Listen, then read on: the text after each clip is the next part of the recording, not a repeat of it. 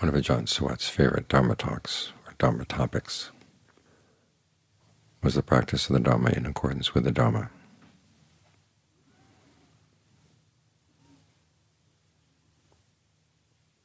He picked this up from Ajahn Mun. He said it was one of Ajahn Mun's favorite topics. We tend to think of the forest tradition as being very Thai. But when Ajahn Mun was getting out into the forest, along with Ajahn Sao, he was very controversial. Ajahn Chah talks about how families would be split over whether they supported a Ajahn Mun or village monks because the way Ajahn Mun practiced, the way Ajahn Sao practiced, had very little in common with the way ordinary village monks would practice. Eating one meal a day out of the bowl, living in the forest, meditating a lot, not being doctors to the local populace. And Ajahn Mun was criticized. His response always was, if you want to be a noble one, you have to practice in line the way the noble ones practiced. You're talking about the customs of the noble ones. But also saying that you would have to take your thoughts and your words and your deeds and bring them in line with the Dhamma.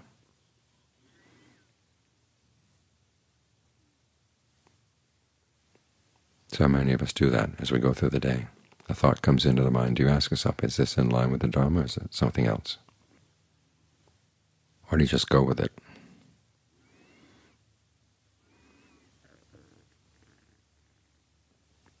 You've got to realize that you've got to make yourself Dhamma if you're really going to get the most out of the practice.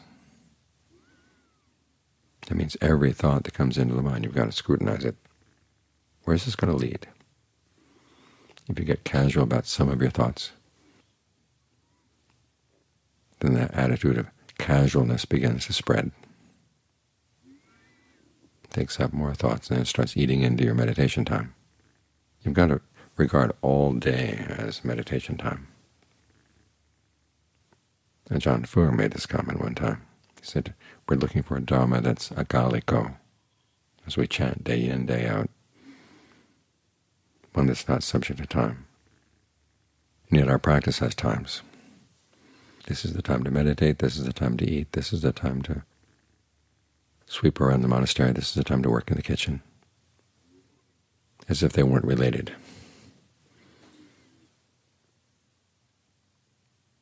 You've got to have the attitude that all the time is practice time, while you're in the kitchen, while you're sweeping around. Keep watch over your mind. because that's how the Dhamma is found, through commitment and reflection.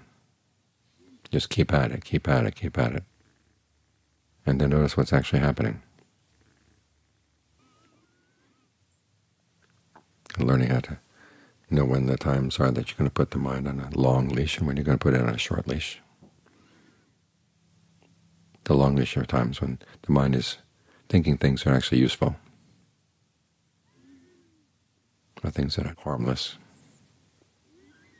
But it starts thinking of things in ways that are not going to be good for your practice, sensual desire, ill will. These are the two big ones out of the hindrances. It's because of sensual desire that we were born here.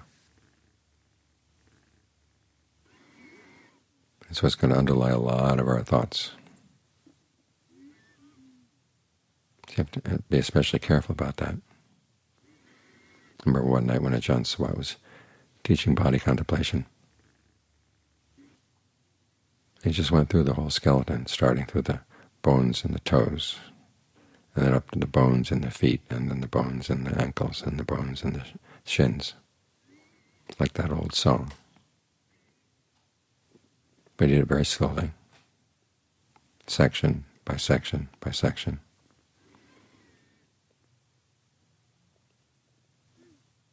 Then he started talking about the things that were inside, say, the, the rib cage, encased by the rib cage. The other parts of the body that the bones were keeping erect.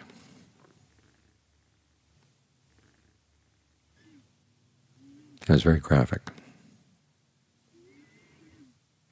So it's good to be graphic in your contemplation of the body. Ask yourself, what in there is worthy of lust? What in there is worthy of pride?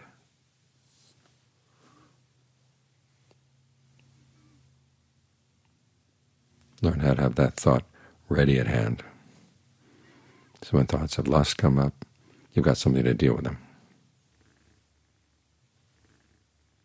As for ill will, we usually don't like to think of ourselves as having ill will for anybody. But the mind does have this tendency to say, so-and-so deserves to be punished, so-and-so deserves to get their karmic rewards fast. And even though we may think of that as righteous anger or as justice, still you're wishing harm on people. Think of Angulimala. killed hundreds of people, and justice would have been served if he'd been executed. But the Buddha had something better, release. You can see that Angulimala had the potential, and so he taught him, ordained him. The king recognized him as a monk, and so didn't inflict any punishment. People were upset. I'm sure there were people who had lost their relatives to him. And so when he's going his alms around, people would throw things at him. But as the Buddha said, it was minor compared to what he would have suffered if he hadn't gained awakening.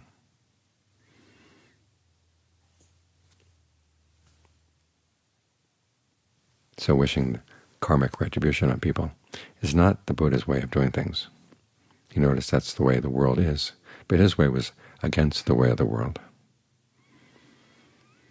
No matter how much you may deserve to suffer, quote unquote, he's got a way out. As he said, if all our karmic consequences had to be served before we gain awakening, nobody would ever gain awakening.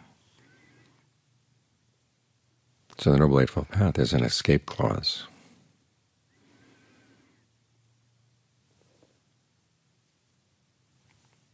And so when you think of people doing harm in the world, the best attitude would be one of, may they find the Dhamma, may they appreciate it, see the error of their ways, and change their ways. Because when people change their ways from their own recognition of what they've done wrong, that's the best way. That's the change of heart that really lasts. The change of heart that comes when you're being punished may last for a while, but sometimes some people resist even that. So have these antidotes to your big hindrances and have them ready all the time. Because the hindrances aren't hindrances only when you're sitting in meditation or when you're doing walking meditation. They're hindrances whenever they come up. And our problem is that we see them as our friends at sometimes. They're entertainment during our time off from the practice. But if you take that kind of time off, pretty much erases the, the good that you've done during your meditation.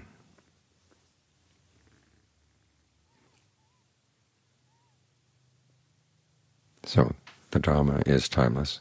And to practice the Dhamma in accordance with the Dhamma, you have to make your practice timeless. We are not to gobble down pleasures. After all, the practice of the Dhamma in accordance with the Dhamma is for the sake of disenchantment, which is the opposite of eating. And so the mind has had enough of things, doesn't want to eat anymore. And the kind of disenchantment that leads to dispassion when the mind grows up and is tired of playing around with fabrications.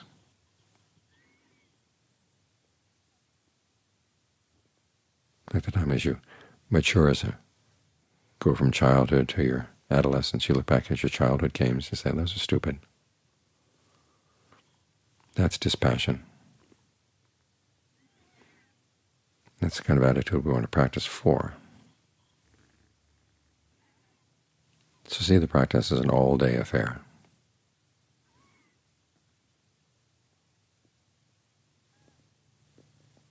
And that's when it's a Dhamma in accordance with the Dhamma.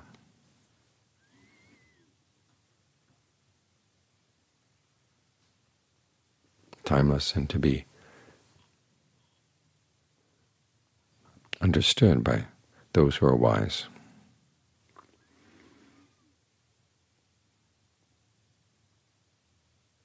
In other words, when you have the wisdom of dispassion, that's when you really know what the Dhamma is about.